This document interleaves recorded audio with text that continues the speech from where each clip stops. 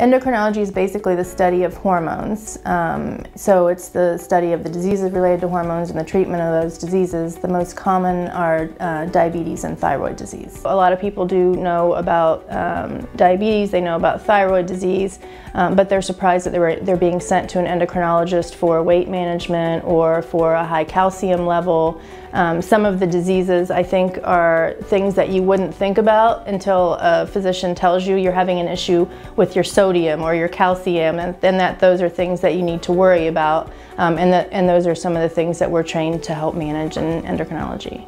Patients come to me a variety of ways. Uh, you know, a lot of them are referred from their primary care doctor. Uh, some of them have seen or heard about different endocrine diseases on the internet or on television, and so they self-refer and will call in. And I'm happy to see, um, I'm happy to see those patients as well. Coordinated Health does a great job trying to simplify complicated medical management for the patients. So the patients can come to see multiple different types of doctors in the same location. Um, that's a great benefit for, um, for all of medicine, but especially for endocrinology. People come to see me because I listen. Um, I, I really listen to where they're coming from.